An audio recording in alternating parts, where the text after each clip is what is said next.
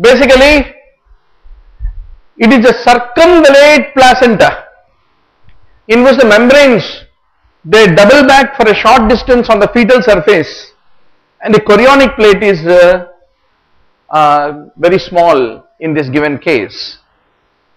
So it contributes to second trimester antepartum bleeding not the first trimester. And old multiparas are more vulnerable and it leads to low birth weight. They are all the true statements. Then uh, a 29 year old with a history of infertility with recurrent pregnancy losses.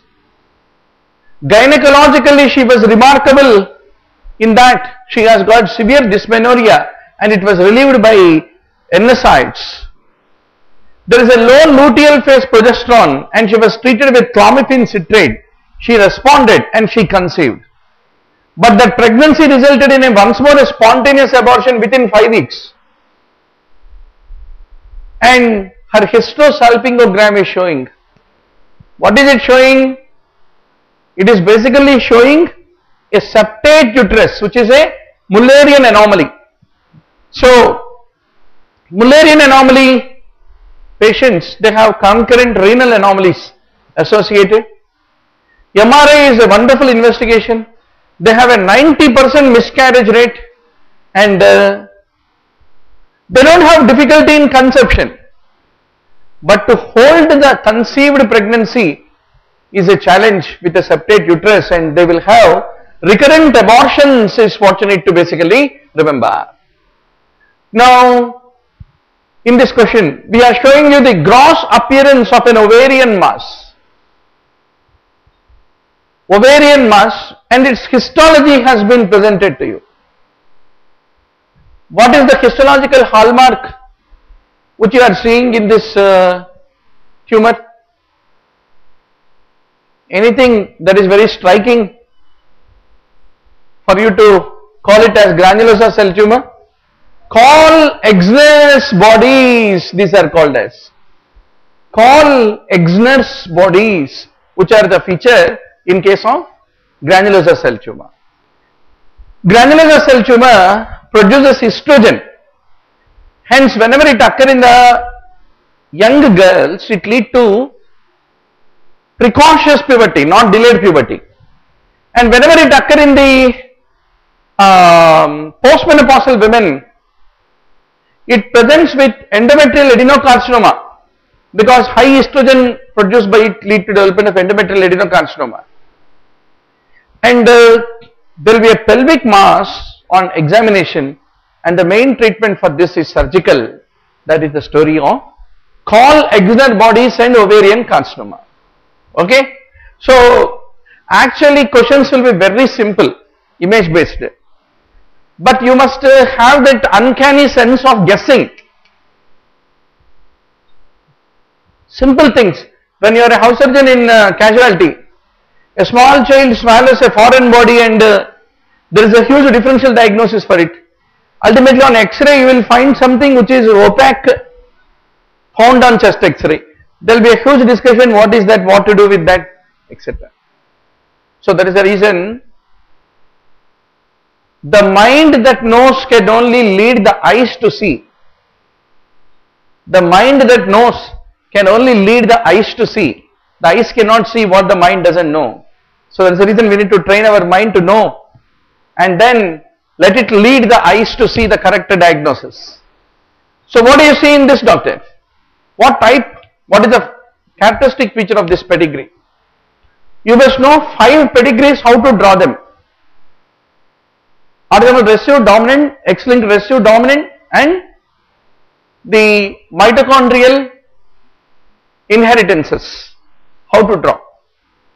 So it was an autosomal recessive kind of a pattern and uh, um, autosomal recessive kind of a pattern which you are seeing which is sickle cell anemia in this case. Duchenne's muscular dystrophy is X-linked recessive. Vitamin D resistant rickets is X-linked dominant and Leber's optic atrophy is mitochondrial uh, inheritance is what you need to basically appreciate.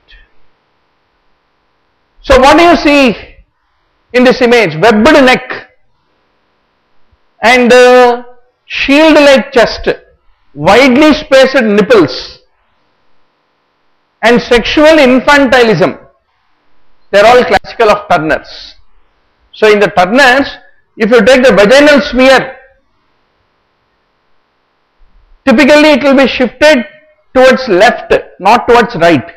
There is an index of vaginal uh, cell smear if you look. How is the degree of cornification? Based on that there is an index calculated.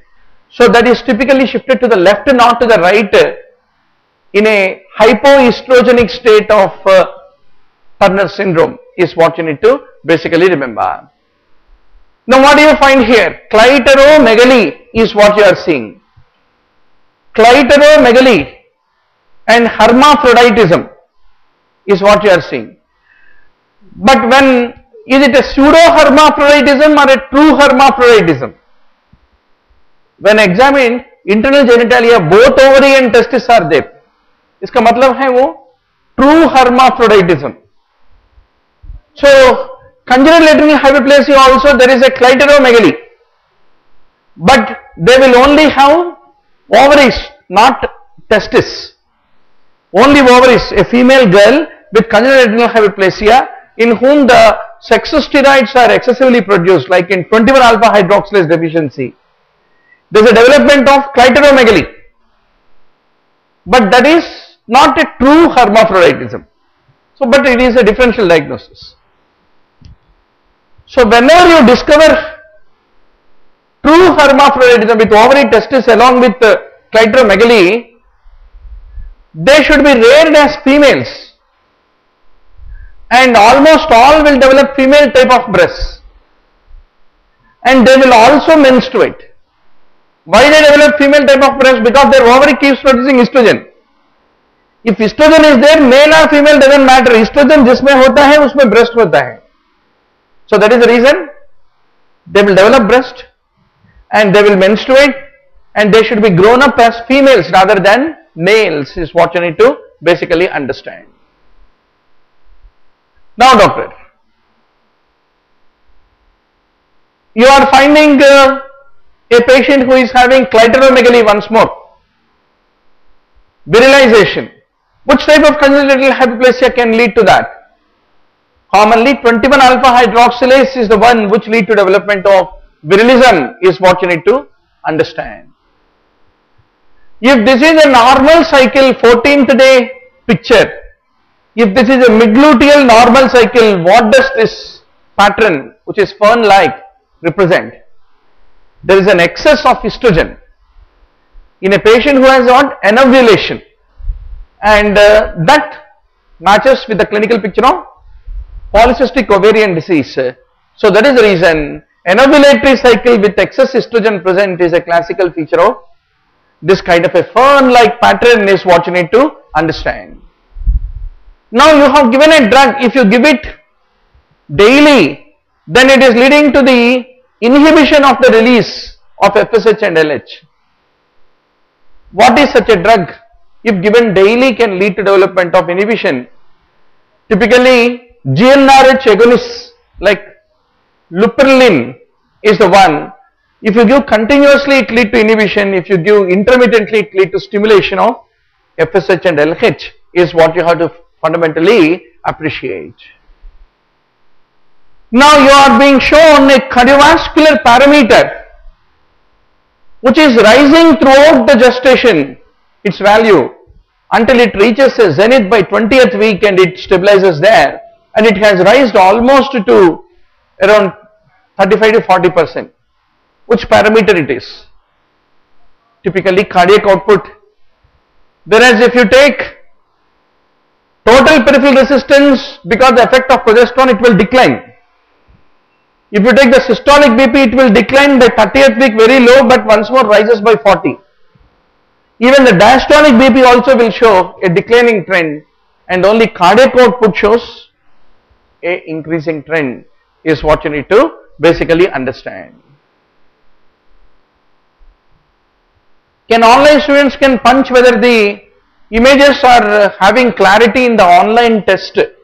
Some of the students are answering the question paper directly from the mobile phone. if they are very busy in the hospital uh, to uh, attend uh, a duty. Sunday means duty, na? So they are even answering from the mobile phone. They are participating into the discussion on the mobile phone. So uh, and uh, by evening, still if night duty is continuing, they didn't get time in the afternoon to participate live. They have the video available on the video library and that can be accessed on the mobile phone. So life has become very mobile. Huh? So yes, Divya is saying there is a clarity. Now, if you take the various chains, doctor, uh, some of the chains are produced only during embryonic life and they decline. Some are produced, even epsilon and zeta, both of them are produced only embryonic. And if you take the delta chain, it will be there in the embryonic and it declines over a period of time after the birth. I mean uh, the uh, gamma chain. Delta chain is produced after the birth and it remains until about 6 months. So this is the story of various chains. Now what was the question asked? Where is the zeta chain in the graph? So two possibilities are there. The chains which are produced only in embryonic life should be zeta.